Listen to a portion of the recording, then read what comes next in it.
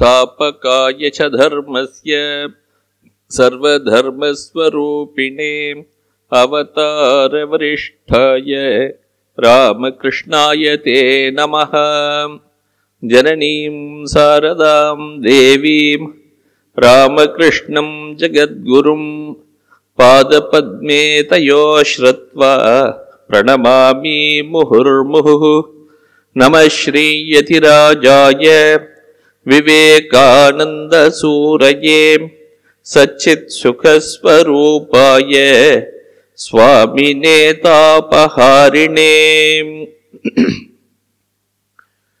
ॐ पार्थाय प्रतिबोधिताम् भगवता नारायणेन स्वयम् व्यासेन ग्रथिताम् पुराणमुनिना मध्ये महाभारतम् अद्वैतामृतवर्षिणीम् भगवतीम् अष्टादशाध्यायिनीम् अम्ब त्वामनुसन्दधामि भगवद्गीते भवद्वेषिणीम् ஸ்ரீமத் பகவத்கீதால இரண்டாவது அத்தியாயம் பார்த்துட்டு இருக்கோம்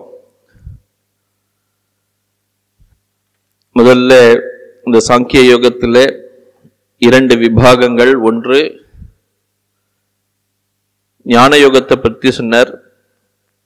ஏஷாத்தே அபிஹிதா சாங்கியே புத்திஹி யோகேத்து இமாம் ஸ்ருணு அப்படின்னு சொல்லி முதல்ல சாங்கியம் அதாவது ஞான மார்க்கத்தை சொல்லிட்டு ஞான மார்க்கத்திற்கு ஒரு வழியாக இருக்கக்கூடியது சாதனமாக இருக்கக்கூடிய கர்ம மார்க்கத்தை பற்றி சொன்னார். யோகேத்து இமாம் ஸ்ருணு அப்படி ஞானம் வழியாதான் மோட்சம் கிடைக்கும்? ஞானாதேவகி கேவலம் மோக்ஷா மோட்சம் கிடைக்கணும்னா ஞானம் தான் வழி வேற வழியே கிடையாது.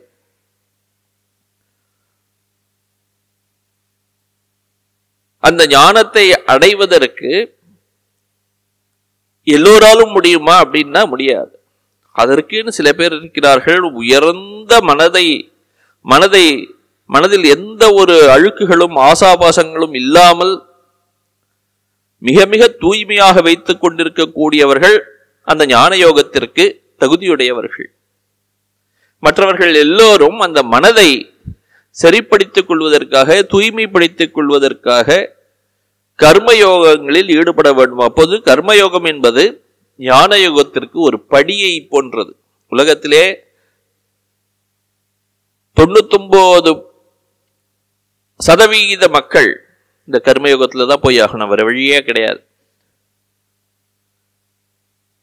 அப்படி அந்த கர்ம கர்ம யோகத்தில் போனால் கர்ம பந்தங்கள் ஒருவனை விட்டு ஒழிகின்றன. அதுதான் இந்த இடத்துல சொல்லியிருக்கார். புத்தியா யுக்தோ யயா பார்த்த கர்மபந்தம் பிரகாசியசி அப்படின்னு. எப்படி ஒருவன் அந்த கர்மங்களை செய்ய வேண்டும் செயல்களை செய்ய வேண்டும் அப்படிங்கறதெல்லாம் இந்த அத்தியாயத்திலே சொல்ல போறார். மனிதனுடைய லட்சியம் ஒன்றுதான். இறைவனை அடையிறதுதான் லட்சியம் வேற எந்த லட்சியமும் கிடையாது. அந்த லட்சியத்தை ஒருவன் தனக்கு தான் எந்த நிலையில் இருக்கிறானோ அந்த நிலையில் இருந்து முயற்சி செய்ய வேண்டும். எல்லோரும் பெரிய உயர்ந்த நிலையில் இருப்பது இல்லை. யாரோ ஒருவர் இருந்தாராம் அவர் ரமண மகர்ஷியிடம் போனாராம். இறைவன் இருக்கிறாரா? அவரை எனக்கு காட்ட முடியுமான்னு கேட்டாராம். அவர் ஒரு நிமிஷம் பார்த்துட்டு நீ என்ன விவேகானந்தனான்னு கேட்டாராம் அவர். விவேகானந்தருடைய நிலை வேறு. அவரால் கேட்க முடிந்தது அவருடைய மனம் அவ்வளவு உறுதியாக இருந்தது அவ்வளவு உயர்ந்த நிலையில் இருந்தது. உலகத்தை தவிர வேறு எதுவும் உலகம் வேண்டாம் இறைவனை தவிர வேறு எதுவும் வேண்டாம் எனக்கு அப்படின்னு இருந்தவர் அவர். அப்படிப்பட்ட ஒரு மனம் இங்கே சாதாரணமா போய் ஒரு ஏதோ எல்லாரும் கேட்கிறார்கள் அப்படின்னு கேட்கக்கூடிய ஒரு மனம் எங்கே? அப்படி நம்முடைய மனங்கள் எல்லாம் சாதாரணமான மனங்கள். அமெரிக்காவில் விவேகானந்தரிடம் ஒருவர் கேட்டாராம் இறைவனை நீங்கள் பார்த்திருக்கிறீர்களா? அப்படின்னு. அதுக்கு விவேகானந்தர் சொல்ற இறைவனை தவிர நான் வேற எதுவுமே பார்க்கலையேங்கிறார். அப்படிப்பட்ட ஒரு உயர்ந்த ஒரு நிலை அவரது. நமக்கு அப்படிப்பட்ட ஒரு உயர்ந்த நிலை வாய்த்தால் நமக்கும் இந்த ஞான யோகத்தில் ஒரு அதிகாரம் ஏற்படும். அந்த ஞான யோகத்திற்கு நமக்கு தகுதியை ஏற்படுத்திக் கொள்வதற்காக இந்த கர்மயோகங்களை செய்தே ஆக வேண்டும். வேறு வழியே கிடையாது. ஒவ்வொரு இடத்திலும் சொல்கிறார் இந்த இடத்துல பகவத்கீதையில. திரைகுண்ய விஷயாவேதா நிஸ்திரைகுண்யோ பவ அர்ஜுன அப்படிங்கிறார். நிர்த்வந்த்வோ நித்திய சத்வஸ்தோ நிர்யோக க்ஷேம ஆத்மவான் இந்த உலகம் முழுவதும் பலவிதமான நோக்கங்களை லட்சியங்களை கொண்டதாக இருக்கிறது. உலகியல் மக்களுக்கு பலவித லட்சியங்கள். அதை அடைய வேண்டும் இதை அடைய வேண்டும் இப்படின்னு. அப்படி பலவிதமான லட்சியங்களை ஒருவன் வைத்துக் கொண்டிருந்தால் அந்த லட்சியங்களுக்கெல்லாம் அடிப்படையாக இருக்கக்கூடியது ஆசை. அப்போ பலவிதமான ஆசைகள் ஒருவனுக்கு இருக்குன்னு அர்த்தம். இப்போ பலவிதமான ஆசைகள் பலவிதமான மனதில் உள்ள இருக்- இருக்கக்கூடிய அழுக்குகள் அப்படின்னு அர்த்தம். சங்கல்பங்கள் இல்லாமல் ஆசை எழும்பாது. இதை செய்ய வேண்டும் அதை செய்ய வேண்டும் அதை அடைய வேண்டும் இதை அடைய வேண்டும். இப்போ இந்த உலகத்தில் இருக்கக்கூடிய எல்லா லட்சியங்களும் எல்லா நோக்கங்களும் ஆசையின் அடிப்படையில் இருக்கக்கூடியவை. திரைகுண்ய விஷயாவேதாகா அப்படின்னு சொல்லியிருக்கு அதுதான். அதனால இவற்றை எல்லாவற்றையும் கடந்து செல் அப்படின்னு அர்ஜுனனுக்கு பகவான் ஸ்ரீ கிருஷ்ணர் சொல்றார். நிஸ்திரை குண்யோ பவ அர்ஜுன ஹே அர்ஜுனா மூன்று குணங்களையும் கடந்தவனாக இரு. இந்த உலகத்தில் இருக்கக்கூடியவை எல்லாம் இந்த உலகம் மட்டுமல்ல மேல்லோகம் ஸ்வர்க்கம் என்றெல்லாம் சொல்கிறோமே அது இருக்கா இல்லையான்னு தெரியாது. இருக்குன்னு எடுத்திருந்தா கூட அவற்று அவையெல்லாமும் கூட மூன்று குணங்களின் அடிப்படையில் இருக்கக்கூடியவை தான் எல்லாம் கடந்து செல்வாய். நிர்வந்த்வகா நித்திய சத்வஸ்தகா நிர்யோகக்ஷேம ஆத்மவான் அப்படின்னு சொல்லியிருக்கார். இருமைகளை கடந்து செல். எப்போதும் அந்த சத்துவ குணத்தில் நிலை பெற்றவனாக வாழ். எல்லாவற்றையும் சொல்லிக் கொடுத்தார். முதல்லயே சொல்லும்போது கர்மபந்தம் பிரகாசியசி அப்படின்னு சொன்னார். கர்மயோகத்தை மிகவும் உயர்த்தி சொல்லியிருக்கிறார். என மற்றவர்கள் எல்லோருக்கும் இந்த கர்மபந்தம் போக வேண்டும். கர்மங்கள் மூலமாக தான் கர்மபந்தம் போக முடியும். கர்மங்கள் அப்படிங்கிறது செயல்கள் இருக்கு இல்லையா? செயல்களை இரண்டு விதமா செய்யலாம் நம்ம. ஒரு விதமாக செய்யும் பொழுது அந்த கர்மங்கள் நம்மை கட்டுக்குள் அழுத்துகின்றன. ஒரு மனிதனை ஒரு தலையில் பிணைக்கின்றன. இந்த உலகத்துடன் கட்டுகின்றன பந்தத்தில் ஆழ்த்துகின்றன. வேறு விதமாக அதே கர்மங்களை செய்யும் பொழுது செயல்களை செய்யும் பொழுது அவனே அந்த பந்தத்தில் இருந்து விடுபடுகிறான். அவனே அந்த கட்டுக்களில் இருந்து விடுபடுகிறான். அந்த கர்மங்களே அவனை பந்தங்களில் இருந்து கட்டுகளில் இருந்து விடுபடச் செய்கிறது. அப்படி செய்ய வேண்டும் அப்படிங்கிறது தான் பின்னாடி சொல்ல போறார். அதுக்கு எப்படி செய்யணும் அப்படின்னா ஈஸ்வரார்த்த புத்தியா அப்படிங்கிறது ஈஸ்வரனுக்கு ஒரு அர்ப்பணம் செய்கின்ற வழியில் கர்மங்களை செய்ய வேண்டும். கர்மங்கள் என்னுடையவை நான் செய்கிறேன். என்னால் இவை அனைத்தும் செய்யப்பட்டன இவற்றின் பலன் எனக்கே வர வேண்டும். இப்படி யார் என்று எண்ணுகிறானோ அவனுக்கு நிச்சயமாக அந்த பலன்கள் வரும். பலன்களை அனுபவிப்பதற்காக பிறவி எடுக்க வேண்டியிருக்கும். அப்ப கர்மங்கள் அவனை பந்தத்தில் ஆழ்த்துகின்றன. ஒரு நொடி கூட ஒருவனால் கர்மங்கள் செய்யாமல் இருக்க முடியாது. நிச்சயம் கர்மங்கள் செய்தே தீர வேண்டும். அப்படி செய்யும் பொழுது அந்த கர்மங்கள் அவனை பற்றக்கூடாது. அப்போ ஒரே வழி என்ன அப்படின்னு செய்யக்கூடிய கர்மங்கள் எல்லாவற்றையும் இறைவனுக்கு அர்ப்பணிக்கும் விதமாக செய்தால் அவனை அந்த கர்மங்கள் அவனை பற்றி கொள்ளாது. இதுதான் இந்த அடுத்த மந்திரங்கள்லாம் சொல்ல போறார். முதல்ல கர்மங்கள் வந்து கர்மங்களை செய்வதால் ஒருவனுக்கு என்ன கிடைக்கின்றன? ஆத்ம ஞானிக்கு என்ன கிடைக்கிறது? அப்படிங்கிறத சொல்ல போறார்.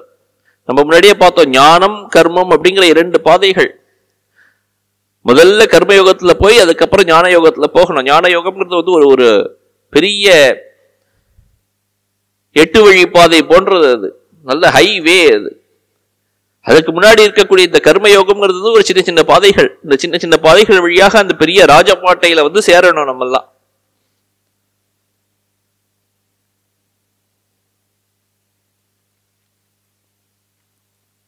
ஒரு கேள்வி இந்த இடத்துல எழுப்புறார்.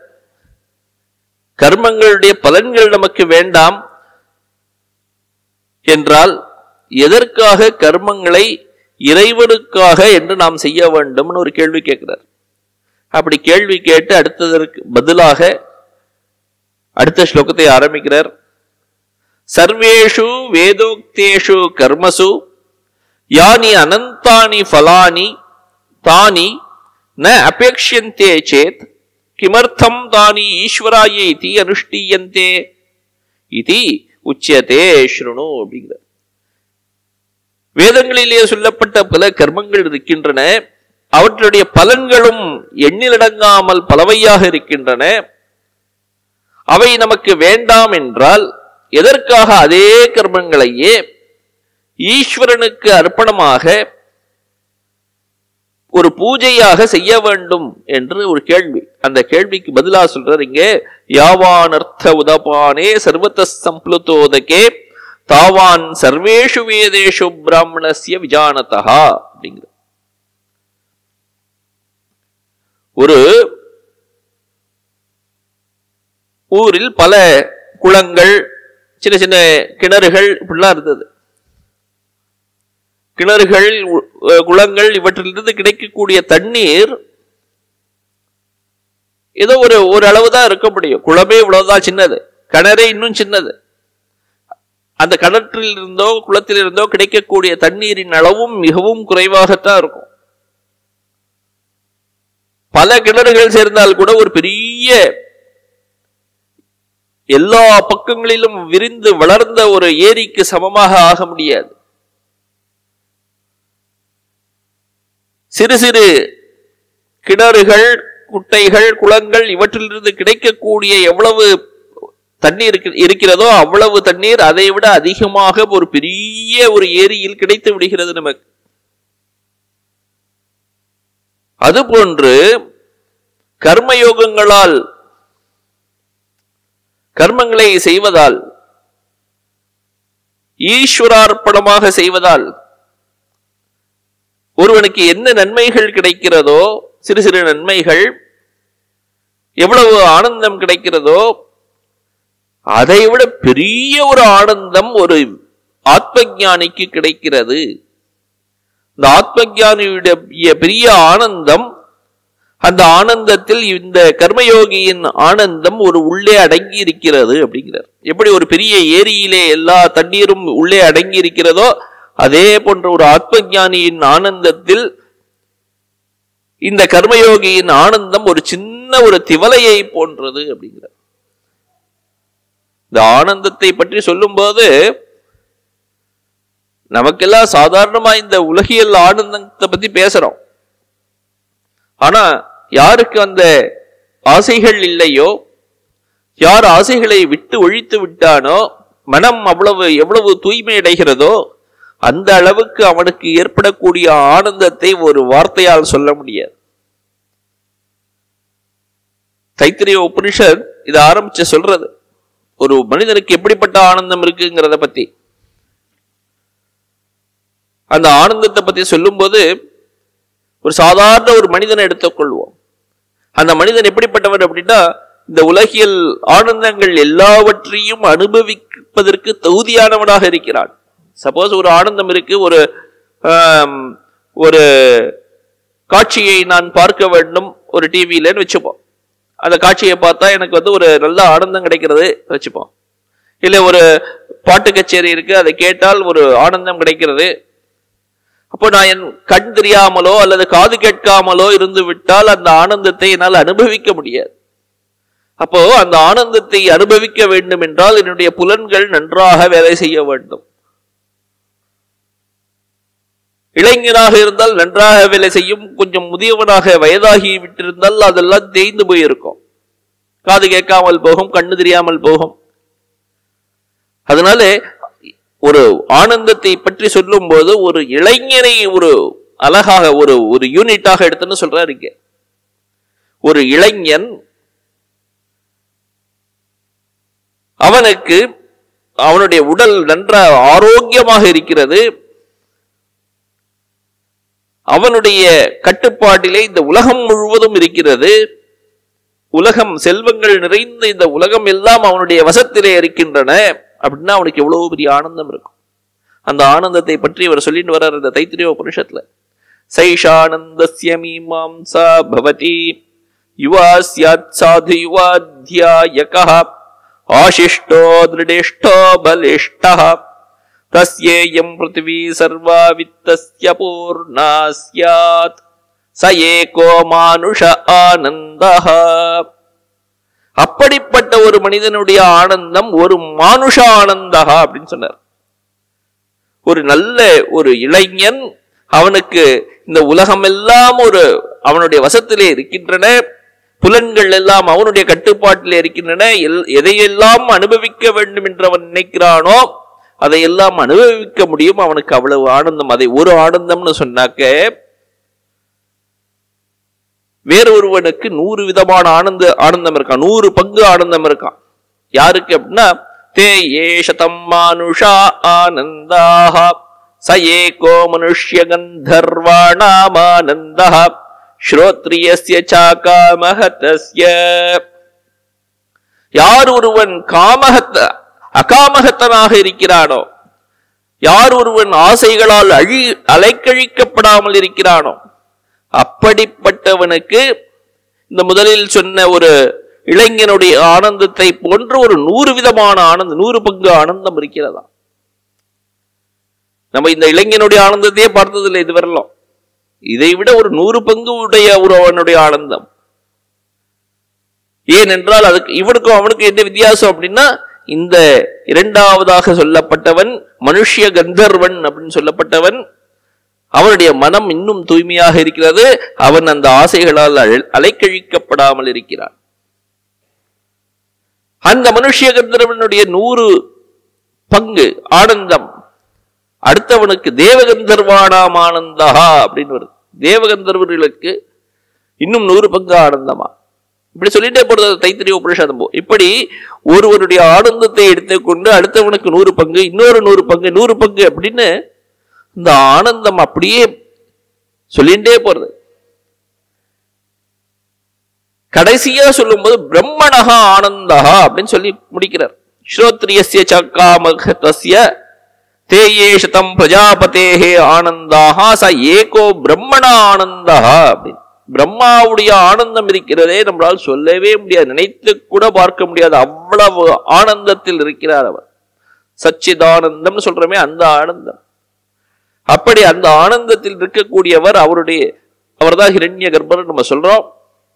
அப்படிப்பட்ட அந்த ஒரு பிரம்மத்துடைய ஆனந்தம் பிரம்மாவின் ஆனந்தம் சதுர்முக பிரம்மாவின் ஆனந்தம் அதுக்கு ஈடு இணையே இல்லை அப்படின்னு நம்ம சொல்றோம். ஆனா யார் ஆத்மஜானியோ ஆத்மாவை அனுபவித்திருக்கிறானோ அவனுக்கு அந்த பிரம்மாவினுடைய ஆனந்தம் வந்து ஒரு திவலை ஒரு துளி நீர் துளியை போன்றது அப்படிங்கிற நம்ம அடிக்கடி இந்த லலிதா சஹஸ்ரநாமம்லாம் படிக்கிறது உண்டு.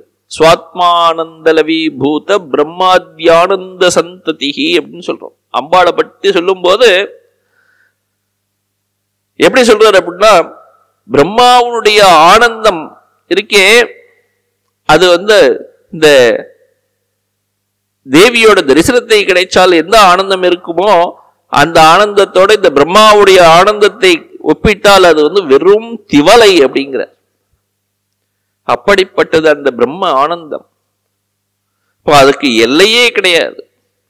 அதுதான் இந்த இடத்துல இவர் சொல்லியிருக்காரு யாவான் அர்த்த உதபானே சர்வத்த சம்ப்ளுத்தோதகே தாவான் சர்வேஷு வேதேஷு பிராமணசிய விஜானதா அப்படின்னு.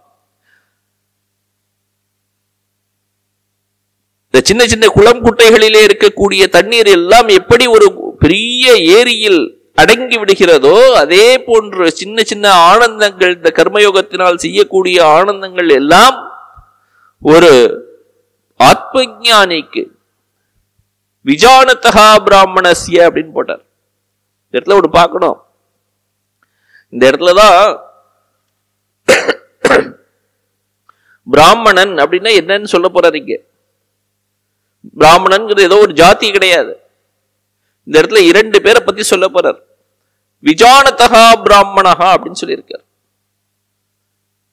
அதே போன்று இன்னொரு அடுத்த ஒரு ஸ்லோகம் வரப்போறது. தூரேன ஹெவரம் கர்ம புத்தி யோகா தனஞ்சய புத்தௌ சரணமன்விச்ச கிருபணாகா ஃபலஹேத்தவக அப்படின்னு. இப்ப பிராமணன் அப்படிங்கிறத சொல்றார். அதற்கு எதிராக கிருபணன் அப்படின்னு ஒருத்தர சொல்றார்.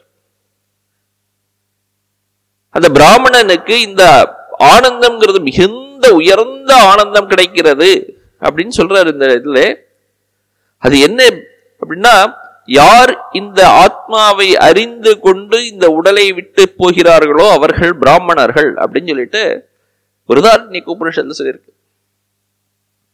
ஏததக்ஷரம் கார்கி விதித்வா அஸ்மான் லோகாத் பிரைதி ஏதத் அக்ஷரம் கார்கி உள்ளே இருக்கக்கூடிய அக்ஷரமான அழியாத அந்த ஆத்மாவை விதித்வா புரிந்து கொண்டு அதை ஆத்ம சாட்சா்காரம் செய்து உள்ளே இருக்கக்கூடியது நாம் இறைவன் வைத்துக் கொண்டால் இறை இறைவனுடைய தரிசனத்தை பெற்று அப்படின்னு வச்சுக்கணும். அப்படி இறைவனுடைய தரிசனத்தை யார் அடைந்து விட்டார்களோ ச பிராமணக அவன்தான் பிராமணன். ஏதோ ஒரு குடும்பத்துல பிறந்தான் அப்படிங்கிறதுனால பிராமணன் கிடையாது.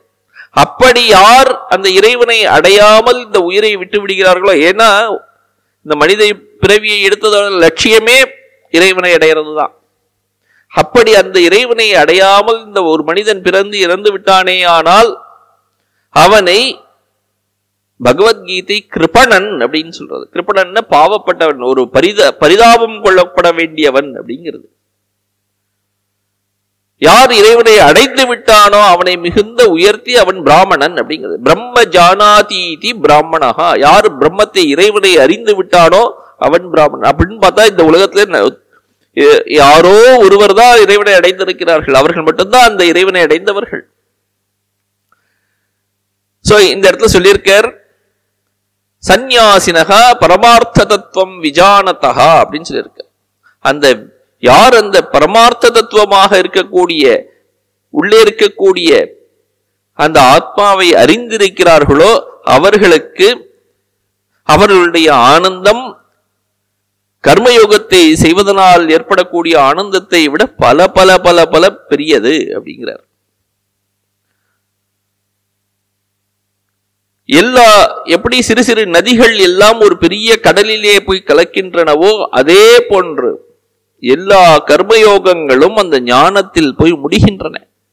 சர்வம் கர்மாக்கிலம் பார்த்த ஞானே பரிசமாப்பியதை அப்படின்னு பின்னாடி சொல்ல போறார் பின்னாடி. அதனாலே அந்த கர்ம ஞான ஞான யோகத்திற்கு ஒரு தகுதியை உடையவனாக ஆவதற்கு முன்பாக ஒவ்வொருவரும் கர்மயோகத்தை அனுசரிக்க வேண்டும் அப்படிங்கிறது இந்த ஸ்லோகத்தோட தாத்பரியம். தஸ்மாத் பிராக் ஞான நிஷ்டா அதிகார பிராப்தேகே கர்மணி அதிகிருத்தேன கர்ம கர்த்தவியம் அப்படிங்கிறார். சங்கரர் எழுதும்போது இந்த இடத்துல சொல்றார் ஞான நிஷ்டா அதிகார பிராப்தேகே ஞான மார்க்கத்திற்கு வந்து சேருவதற்கு ஒரு தகுதியை ஏற்படுத்திக் கொள்வதற்காக கர்மணி அதிகிருத்தேன கர்மயோகத்தில் ஈடுபடக்கூடியவர்கள் எல்லோரும் கர்ம கர்த்தவியம் அவர்கள் எல்லோரும் கர்மங்களை செய்ய வேண்டும் அப்படின்னு சொல்ற அது எப்படி கர்மங்களை செய்ய வேண்டும்? அப்படிங்கறத அடுத்த ஸ்லோகத்துல சொல்றார். கர்மண்யேவாதிகாரஸ்தே மா ஃபலேஷு கதாச்சன. மா கர்ம ஃபலஹேதுர்பூஹு மா தே சங்கோஸ்த கர்மணி அப்படிங்கிறார். கர்மங்களை செய்வதற்கு கர்மயோகமாக செய்வதற்கு நமக்கு அதிகாரம் இருக்கிறது. அதனுடைய பலன்களில் நமக்கு ஒருபோதும் அதிகாரம் இல்லை. பலன்களை எதிர்பார்த்துட்டானாலே போச்சு. அதுதான் பந்தம். கர்மணி ஏவ அதிகாரக நமக்கு இருக்கக்கூடியது எல்லாமே என்ன அப்படின்னா கர்மாவில் தான் கர்மயோகத்தில் இறங்கி நாம் வேலை செய்ய வேண்டும். அதுல தான் நமக்கெல்லாம் தகுதி இருக்கிறதே தவிர ஞான யோகத்தில் நமக்கு அதிகாரம் இல்லை. அப்படின்னு சொல்றாருங்க கர்மணி ஏவ அதிகாரகா ந ஞான நிஷ்டாயாம் அப்படின்னு சொல்லிட்டார். அப்படி அந்த கர்மயோகமாக நாம் செய்யும் போதும் தத்ரச்ச கர்ம குருவத்த மா ஃபலேஷு அதிகாரா அஸ்து. கர்ம ஃபல திருஷ்ணாமா பூத் கதாச்சன கசியாஞ்சித் அவஸ்தாயாம் அப்படி இத்தியர்த்தா அப்படி அப்போ கர்மங்களை செய்தாலும் கூட அந்த கர்ம பலன்களில் ஒரு ஆசை இல்லாமல் செய் அப்படிங்கிறார். கர்மபல திருஷ்ணாமா பூத் அப்படிங்கிறார். கர்ம பலன்களில் திருஷ்ணை திருஷ்ணைனா ஆசை ஒரு ஈடுபாடு. ஆஹா அது வரணுமே இது வரணுமே நான் இந்த வேலையை செஞ்சுட்டேனே அப்படின்னு எண்ணாமல் கதாச்சன அப்படின்னு ஒரு பதம் வேற போட்டிருக்காரு. கசியாஞ்சித் அவஸ்தாயாம் அப்படி எந்த ஒரு நிலைமையிலும் அதை பற்றி செய்யும் செயலை மட்டும் செய். அதனுடைய பலனை எதிர்பார்க்காமல் செய் அப்படிங்கிறார். மா கர்ம ஃபலஹேத்துர்பூஹு அப்படிங்கிறார். ஏன் அப்படின்னா கர்மங்களுடைய பலனை எதிர்பார்த்து விட்டால் இது வர வேண்டும் அப்படின்னு நினைத்தால் நிச்சயமாக வரும் நமக்கு. ஒரு செயலை செய்யும் போது அந்த செயலினுடைய பலன் நிச்சயமாக ஏற்படுகிறது. அந்த ஏற்பட்ட பலன் நமக்கே வர வேண்டும் என்று நாம் நினைத்தால் அது நமக்கு வந்துவிடும். நமக்கு வேண்டாம் அதை வந்து ஈஸ்வரனுக்கு அர்ப்பணமாக நான் செய்தேன் அவனுடைய திருவடிகளில் அதை சமர்ப்பிக்கிறேன் அப்படின்னு சொல்லி சமர்ப்பித்தால் அது நமக்கு வராது.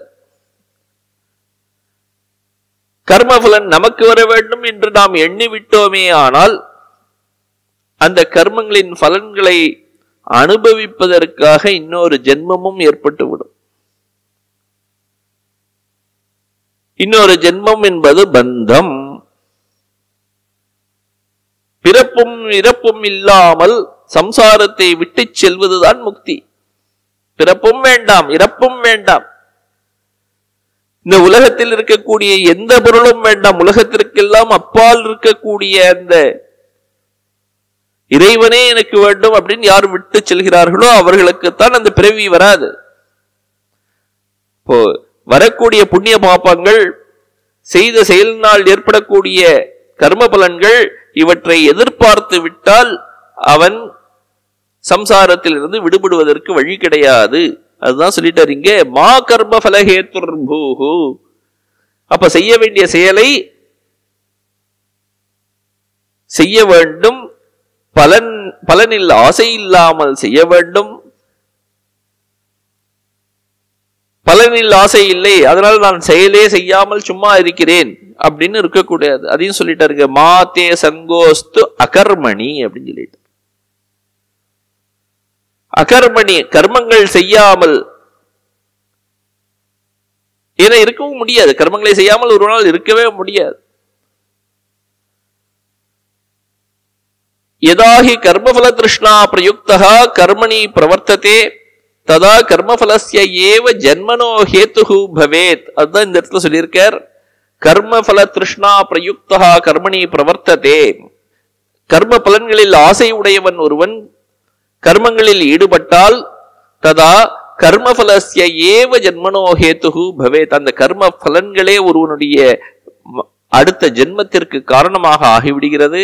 அதனால் கர்மங்களில் ஆசை இல்லாமல் செயல்களை செய். எதி கர்மபலம் நைஷ்யத்தே கிம் கர்மணா துக்கரூபேன கர்மபலம் வேண்டாம் நாம் நினைத்து விட்டால் எதற்காக கர்மங்களை செய்வது கர்மங்கள் செய்வது மிகவும் கஷ்டமா இருக்கிறதே? அப்படின்னு சொல்லிட்டு கர்மங்கள் செய்யாமல் இருந்து விடாதே. மாதே சங்கஹாஸ்து அகர்மணி. செயல்களை செய்யாமலும் இருந்து விடாதே அப்படின்னு சொல்லியிருக்கார். அப்போ கர்மங்களை செய்தே ஆக வேண்டும். செய்யாமல் இருக்க முடியாது செய்வதற்கு ஒரு வழி இருக்கிறது அதை எப்படி செய்ய வேண்டும் அப்படிங்கிறத அடுத்த ஸ்லோகத்தில் சொல்றார். எதி கர்ம ஃபல பிரயுக்தேன கர்த்தவியம் கர்ம கதம் தர்ஹி கர்த்தவியம். செயல் பலன்களில் செயல்களின் பலன்களை வேண்டாமல் செயல்களை செய்ய வேண்டும் என்றால் செயல்களை எப்படி செய்ய வேண்டும் அப்படின்னு ஒரு கேள்வி கேட்டுட்டு அடுத்த ஸ்லோகத்தை சொல்றார். யோகஸ்தகா குரு கர்மாணி. சங்கம் தியக்வா தனஞ்சய சித்திய சித்தியோசமோ பூத்வா சமத்துவம் யோக உச்சியதே அப்படி யோகஸ்தகா குரு கர்மாணி செயல்களை செய். யோகத்தில் நிலை பெற்று செயல்களை செய். கர்ம யோகத்தில் நிலை பெற்று சம கர்மங்களை செய். சங்கம் தியக்வா அப்படிங்கிறார். உன்னுடைய அட்டாச்மெண்ட் விருப்பு வெறுப்புன்னு ஒரு இருக்கு இல்லையா? ஒரு பிடிப்பு இருக்கு இல்லையா?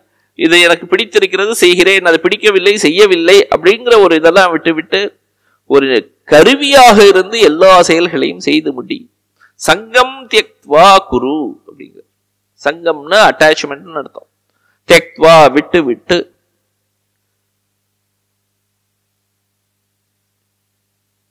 சங்கரர் எழுதும்போது சொல்றார் யோகஸ்தகாசன்னு குரு கர்மாணி கேவலம் ஈஸ்வரார்த்தம் அப்படிங்கிறார். ஈஸ்வரனுக்காக இறைவனுக்காக நான் செய்கிறேன் அப்படிங்கிற ஒரு ம- மனதிலே நினைத்து கொண்டு செயல்களை செய்து முடி. ஈஸ்வரகா மே துஷ்யது இதி. அந்த இறைவன் என்னிடம் சந்தோஷம் கொள்ளட்டும் எனக்கு எனக்கு அருள் புரியட்டும் அப்படிங்கிற ஒரு எண்ணத்துடன் செய் செயல்களை செய். சங்கம் தியக்துவா தனஞ்சய சங்கத்தை அந்த அட்டாச்மெண்ட்டை விட்டு பலன்களில் எதிர்பார்ப்பை விட்டு கர்மங்களை செய் அப்படிங்கிறார். அதனால என்ன கிடைக்கும் அப்படின்னா மனசுலேயே வந்து ஒரு சித்த சுத்தி கிடைக்கும் ஆசைகளை விட்டு செயல்களை புரியும் போது மனதிலே சித்த சுத்தி மனம் தூய்மை அடைகிறது. அந்த மன தூய்மை இருந்தால் இறைவனுடைய அருள் நிச்சயமாக கிடைக்கும். அதான் இந்த இடத்துல சங்கரர் எழுதுறார். ஃபலத்ருஷ்ணா சூன்யேன கிரியமானே கர்மணி சத்வசுத்திஜா ஞான பிராப்தி லட்சணா சித்திஹி அப்படிங்கிறார். எப்போது அந்த பலத்திலே பலன்களில் கர்ம பலன்களில் ஒரு ஆசை இல்லாமல் செயல்கள் செய்யப்படும் போது மனம் தூய்மையடைந்து விடுகிறது. அப்படி மனம் தூய்மை அடைந்து விட்டதா?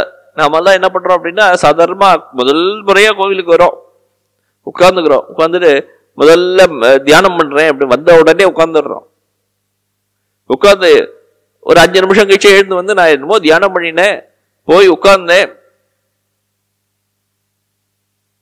அப்பதான் வீட்டுல விளக்கு அணைச்சானான்னு தெரியல வீட்டை பூட்டினா தெரியல இது போல பலவிதமான எண்ணங்கள் வருகின்றன அப்படின்னு நம்ம சொல்றோம். நமக்கு நிறைய பக்தர்கள் வந்து சொல்லும்போது முதல்ல இதுதான் சொல்கிறார்கள்.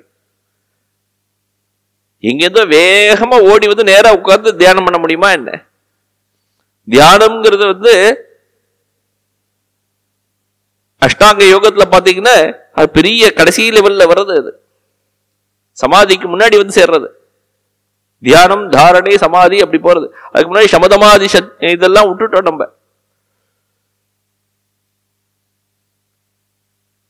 அந்த உண்மையான சித்த சுத்தி வர வேண்டும் அப்படிங்கிறது தான் வந்து நம்மளுடைய தியா இந்த கர்மங்களுடைய வெற்றியே அதுதான். மனம் வந்து தூய்மை அடைந்து விட்டால் அதுதான் கர்மயோகத்தின் பலன். அந்த மனம் உடனேயே தூய்மை அடைஞ்சிருதுமா என்ன? வந்து உட்கார்ந்து ச- கர்மயோகங்களை செய்ய ஆரம்பித்த உடனேயே மனம் தூய்மை அடைந்து விடுமா என்ன? சொல்லவே முடியாது. எத்தனையோ ஜென்மங்களாக நம்முடைய உடலிலே மனதிலே அந்த ஆசைகள் அழுக்குகள் இருந்து கொண்டே இருக்கின்றன. அவற்றை மெதுவாகத்தான் நாம் நீக்க வேண்டும். உடனே செய்ய ஆரம்பித்தவுடன் மனம் இன்னும் அமைதி அடையவில்லையே நம்ம சொல்லவே முடியாது. அப்போ அந்த மனம் அமைதி அடைந்து விட்டதா இல்லையாங்கிற ஒரு எதிர்பார்ப்பும் நமக்கு இருக்கக்கூடாது.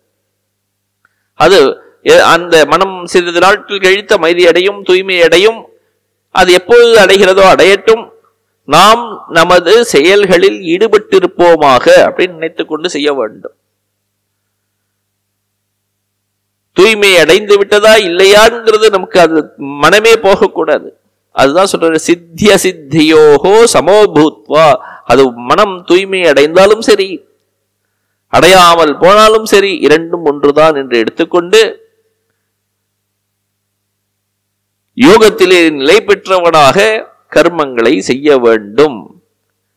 ஃபலத்ருஷ்ணா சூன்யேன கிரியமானே கர்மணி சத்வசுத்திஜா ஞான பிராப்தி லக்ஷணா சித்திஹி. சித்திய சித்தியோகோ அப்படி வெற்றி தோல்விகளை பற்றி கவலைப்படாமல் அப்படின்னு சொல்லியிருக்க இரண்டையும் ஒன்றாக எடுத்துக்கொண்டு அப்படின்னு. வெற்றினா என்ன? மனம் தூய்மை அடைந்து விட்டால் அது வெற்றி. அசித்தி அப்படின்னா தோல்வி. தோல்வி அந்த மனம் தூய்மை அடையாமல் இன்னும் இருக்கின்றது அப்படின்னாக்க அது அசித்தி. இது ரெண்டையும் பற்றி கவலைப்படாமல் செயல்களில் ஈடுபட வேண்டும். சித்திஹி ஞான பிராப்தி லட்சணா சத்வ சுஷுத்திஜா தத் விபரீத விபர்யா விபர்யஜா அசித்திஹி. தயோகோ சித்திய சித்தியோகோ அப்படி சமகா துல்லியகா பூத்வா குருகர்மாணி. இரண்டு வெற்றி தோல்விகளையும் சமமாக எடுத்துக்கொண்டு உன்னது செயல்களை செய் அப்படிங்கிற அதுதான் யோகம். யோகத்தில் நிலை பெற்று செய்வது யோகம்னா என்ன? இரண்டும் சமமாக வெற்றி தோல்விகளை பற்றி கவலைப்படாமல் செய்வதுதான் யோகம். அதுதான் இந்த இடத்துல சமத்துவம் யோக உச்சியத்தே அப்படிங்கிற சமத்துவம் இரண்டையும் சமமாக பார்ப்பதுதான் யோகம். சித்திய சித்திய சித்தியோகோ சமத்துவம் யோக உச்சியத்தே அப்படின்னு சொல்றாரு. வெற்றி தோல்விகள் இரண்டையும் சமமாக பார்ப்பதுதான் யோகம். அப்படிப்பட்ட அந்த யோகத்தில் நிலை பெற்றவனாக இருந்து கொண்டு செயல்களை செய்யும் பொழுது உண்மையிலேயே அது ஈஸ்வரனுக்கு ஒரு அர்ப்பணமாக செய்யப்படுகிறது. அப்படி செய்யப்படுகின்ற கர்மயோகம் இந்த கர்மயோகத்திலேயே நம்ம சொன்னது வந்து கர்மயோ கர்ம செயல்களை செய்வதுங்கிறதே இரண்டு விதம். செயல்களை இறைவனுக்கு அர்ப்பணமாக கர்மயோகமாக செய்வது ஒரு விதம். செயல்களை அதன் பலன்கள் நமக்கு வேண்டும் என்று எண்ணிக்கொண்டு செய்வது இன்னொரு விதம். இருவரும் செயல்களை செய்கிறார்கள் ஒரே வேலையை இருவரும் செய்கிறார்கள். ஆனால் ஒருவன் அந்த பலன்கள் எதுவும் எனக்கு வேண்டாம் இறைவனுக்கு அர்ப்பணமாகட்டும் அப்படின்னு நினைத்துக் கொண்டு செய்கிறான் மனதினால். இன்னொருவன் அந்த செயல்களின் பலன் தனக்கு வர வேண்டும் என்று செய்கிறான். அவன் செய்வது எல்லாம் காமிய கர்மங்கள். சகாம கர்மங்கள்னு பேர். இதனுடைய பலன்கள் வேண்டும் என்று செய்யக்கூடிய கர்மங்கள் நிஷ்காம கர்மமாக இன்னொருவன் செய்கிறான். இப்ப இந்த இரண்டு இதுலயும் இந்த நிஷ்காம கர்மம்ங்கிறது மிக மிக உயர்ந்தது. சகாம கர்மமாக எது இருக்கிறதோ அது மிகவும் தாழ்ந்தது அப்படிங்கிறார். ஏனென்றால் அந்த சகாமமாக எனக்கு அந்த கர்ம பலன்கள் வர வேண்டும் என்று யார் செய்கிறானோ அவன் அந்த பந்தத்தில் மாட்டிக்கொள்கிறான். நிஷ்காமமாக யார் செயல்களை புரிகிறானோ அவன் அவனுக்கு ஞானத்திற்கு தகுதி ஏற்பட்டு அவன் ஞானத்தை பெற்று மோட்சத்தை அடைகிறான். இந்த இரண்டு கர்மங்களை பற்றியும் நிஷ்காம கர்மங்கள் சகாம கர்மங்கள் இ- இந்த இரண்டையும் பற்றி இந்த அர்த்த ஸ்லோகத்துல சொல்றார். தூரேணஹ்யவரம் கர்ம புத்தி யோகாத் தனஞ்சய புத்தௌ சரணமன்விச்ச கிருபணாகா ஃபலஹேதவஹா அப்படி. எந்த ஒரு கர்மம் ஈஸ்வரனுக்காக செய்யப்பட்டதோ நிஷ்காமமாக செய்யப்பட்டதோ அந்த கர்மங்களை விட காமிய கர்மமாக செய்வது மிகவும் கீழே கீழாக உள்ள இருக்கக்கூடியது. அவரம் அப்படின்னு போட்டிருக்கார். அவரம் அப்படின்னா அதுக்கு ஒரு உயர்ந்தது கிடையாதுன்னு அர்த்தம். காமிய கர்மங்கள் செய்வதால் ஒருவனுக்கு மோட்சம் கிடைப்பதில்லை.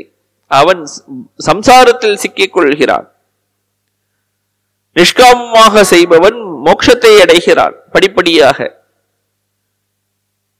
அதுதான் இந்த சொல்ற தூரேன ஹியவரம் கர்ம அப்படின்னு சொல்லிட்டு மிகவும் கீழானது இது. இந்த கர்மங்கள் கர்மயோகம் அஹ், இல்லாமல் நிஷ்காமங்கள் இல்லாமல் காமியமாக யார் செய்கிறானோ அந்த செய்கை மிகவும் கீழானது. ஏனென்றால் ஜென்ம மரணாதிகேத்துவாத் அப்படின்னு போட்டிருக்காரு. தூரேன அதிவிப்பிரகர்ஷேன அவரும் நிஷ்கிருஷ் நிகிருஷ்டம் கர்ம பலார்த்தினா கிரியமானம். புத்தி யோகாத் சமத்துவ புத்தி யுக்தாத் கர்மனகா ஜென்ம மரணாதிகேத்துவாத் அப்படிங்கிறார். என இந்த காமியமாக செய்யக்கூடிய கர்மங்கள் ஒருவனுக்கு சம்சாரத்தை கொடுக்கிறது ஜென்ம மரணத்தை கொடுக்கிறது. அதனால் அது மிகவும் கீழானது.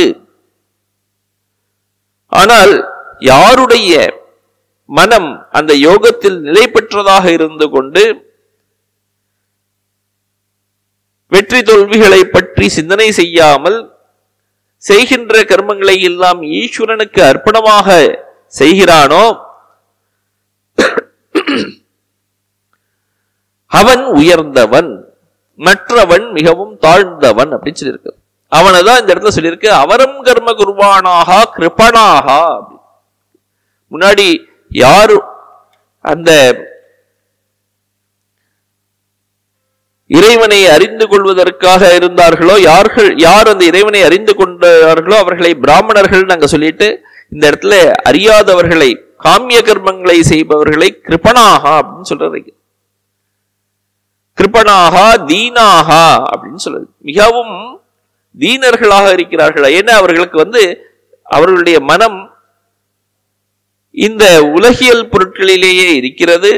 உலகியலை தாண்டி சம்சாரத்தை தாண்டி செல்ல முடியவில்லை. யோ வா ஏதது அக்ஷரம் கார்கி அவிதித்வா அஸ்மான் லோகாத் பிரைத்தி ச கிருப்பனகா அப்படின்னு பிருகதாரண்யக்கு உபநிஷத்து சொல்றது.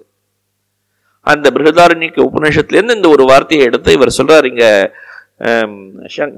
ஸ்ரீ கிருஷ்ணர் இங்க அந்த உள்ளே இருக்கக்கூடிய அக்ஷரமாக இருக்கக்கூடிய மாறாமல் இருக்கக்கூடிய ஆத்மாவை பிரம்மத்தை யார் அறியாமல் போனார்களோ இறைவனை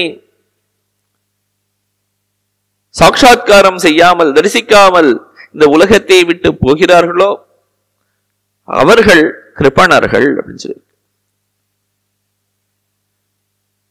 அப்படி இந்த ஒரு மனிதனுடைய இரண்டு விதம் கர்மங்களை இரண்டாக பிரித்து ஒரு அஹ், நிஷ்காமமாக செய்ய வேண்டும் என்பதை இந்த இடத்துல சொல்லியிருக்கார். அப்படி அந்த நிஷ்காமமாக செய்யக்கூடியவன் தன்னுடைய புண்ணிய பாப்பங்களை கடந்து செல்கிறான். புண்ணியங்களால் புண்ணியங்களை அனுபவிக்கக்கூடிய பிறவி ஏற்படுவதில்லை. பாபங்களால் பாபங்களுடைய பலனான துன்பங்களை அனுபவிப்பதற்காக இன்னொரு பிறவி ஏற்படுவதில்லை. புண்ணிய பாபங்களை கடந்தவனாக ஆகிறான் அப்படிங்கிறது அடுத்த ஒரு ஸ்லோகத்துல சொல்றார். புத்தியுக்தோ ஜகாதீக உபே சுகிருத துஷ்கிருதே. தஸ்மாத் யோகாய யுஜ்யஸ்வ யோகா கர்மசு கௌஷலம் அப்படி புத்தியுக்தா அப்படின்னு சொல்றார். புத்தியுக்தகன சமத்துவ புத்தியுக்தா சித்திய சித்தியோகோ சமத்துவ புத்தி யாருக்கு இருக்கிறதோ? வெற்றி தோல்விகளில் சமத்துவமான ஒரு புத்தி யாருக்கு இருக்கிறதோ? அப்படி இருந்து கொண்டு செயல்களை செய்பவன் ஜஹாதி சுக்ருத துஷ்கிருத்தே அப்படிங்கிறார். சுக்ருதம்ன புண்ணியங்கள் துஷ்கிருதம்ன பாபம் புண்ணிய பாபங்களை ஒருவன் வெற்றி கொண்டு விடுகிறான். எனவே தஸ்மாத் யோகாயுஜ்யஸ்வ அப்படிங்கிறார். எனவே ஒருவன் அப்படிப்பட்ட அந்த சமத்துவ புத்தியுடன் கூடிய யோகத்தில் ஈடுபட வேண்டும் அப்படின்னு சொல்லிட்டாருங்க. அதனாலதான் யோகா கர்மசு கௌஷலம். செய்யக்கூடிய செயல்கள் எல்லாம் ஒருவனை கட்டுக்குள் கொண்டு வருகின்றன வச்சுப்போம். கர்மங்களுடைய நேச்சர் இயல்பே ஒருவனை கட்டுக்குள் கொண்டு வருவதுதான். இப்போ தண்ணியை மேல ஊத்தினாக்க உடல் எல்லாம் நனைந்து போய் விடுகிறது. தண்ணியோட ஒரு நேச்சர் இயல்பு என்னன்னா எல்லாவற்றையும் ஈரமாக ஆக்குவது தண்ணியின் இயல்பு. தண்ணிக்குள் இருந்தாலும் உடலில் ஈரம் படாமல் யாராவது இருக்க முடியும்னா அவன் தான் திறமைசாலின்னு அர்த்தம். மேலே அருவி கொட்டுறது அருவியில் எப்படியோ மழை கொட்டுறதுன்னு வச்சுப்போம் மழையில் அந்த தண்ணியில் நினையாமல் யாராவது உள்ளே போயிட முடியும் என்றால் அவன் எக்ஸ்பர்ட்னு சொல்லலாம். அதுபோல கர்மங்கள் உண்மையான கர்மங்களுடைய நேச்சர் என்ன அப்படின்னா ஒருவனை ஒருவனை பந்தத்தில் ஈடுபடுத்துவது. அந்த பந்தங்களில் ஈடுபடாமல் செயலை செய்வதுதான் அவனுக்கு கெட்டிக்காரன் பேர். கௌஷலம் அப்படின்னு சொல்லியிருக்கு. அதுதான் இந்த இடத்துல. யோகா கர்மசு கௌஷலம் அப்படின்னு. கௌஷலம்னா என்ன அப்படின்னாக்க பந்தஸ்வபாவாணி அப்படி கர்மாணி சமத்த புத்தியா ஸ்வபாவாத் நிவர்த்தந்தே. இந்த உலகத்தில் இருக்கக்கூடிய எல்லா கர்மங்களும் ஒரு பந்த ஸ்வபாவம் தான் பந்த ஸ்வபாவம்னா ஒரு அதோட நேச்சர் என்ன சுவாவம் என்ன அப்படின்னா ஒருவனை கட்டுக்குள் கொண்டு வருவது பந்தத்தில் கொண்டு வருவது தலைக்குள் ஆழ்த்துவது அதுதான் ஒரு கர்மங்களுடைய நேச்சர் அப்படி இருந்தாலும் கூட அந்த கர்மங்களை செய்பவன் சமத்துவ புத்தியோட செய்யும் போது வெற்றி தோல்விகளை பற்றி கவலைப்படாமல் செய்யும் போது நான் செய்தேங்கிற ஒரு எண்ணம் இல்லாமல் செய்யும் போது அதுதான் அடிக்கடி குருதேவர் சொல்வர் நான் செய்யவில்லை நான் செய்யறதெல்லாம் நான் இல்லை. நான் இல்லை நான் இல்லை அப்படின்னு சொல்லுவார். எல்லாம் நீயே இது ஒரு இயந்திரம். இந்த இ- இயந்திரத்தை இயக்குபவள் நீ அப்படின்னு தேவியை பார்த்து சொல்லுவார். இந்த நீ எப்படி என்னை இயக்குகிறாயோ அப்படி நான் இயங்குகிறேன். அதில் வெற்றியோ தோல்வியோ அதை பத்தி எனக்கு இல்லை. ஒரு அஹ், அருவாள் இருக்குன்னு வச்சுப்போம். அருவாள்ங்கிற ஒரு கருவி. அந்த கருவி ஒரு பல நாள் வேலையே செய்யாமல் இருக்கும். சில நாள் ஏதாவது ஒரு வேலை செய்யும். ஏதாவது பண்ணும். அது எந்த ஒரு இதுக்கும் காரணம் அதுவா வேலை செய்யறதா என்ன? அதை செயல்படுத்துவன் தான் செயல்படுத்துபவனால் தான் அதுக்கு ஒரு மதிப்பே தவிர ஒரு பேனா இருக்கிறது நான் எழுதுகிறேன். நல்லது எழுதலாம் தீயது எழுதலாம் எவ்வளவோ எழுதலாம். அது பேனாவுக்கு ஒரு எந்த ஒரு பெருமையும் கிடையாது. அதை இயக்குபவனுக்குத்தான் எல்லா பெருமையும். அதே போன்று இந்த உடல்ங்கிற ஒரு கருவி இந்த உடல்ங்கிற கருவிக்கு எந்த ஒரு இதை செய்தேன் அதை செய்தேன்னு ஒரு பெரிய பெருமையும் கிடையாது. இதையெல்லாம் இயக்குகின்ற தேவி உள்ளே இருக்கக்கூடிய அந்த ஆத்மா அதுக்குதான் எல்லாம் எல்லாம் இருக்கிறதே தவிர நமக்கு எந்த பெருமையும் கிடையாது.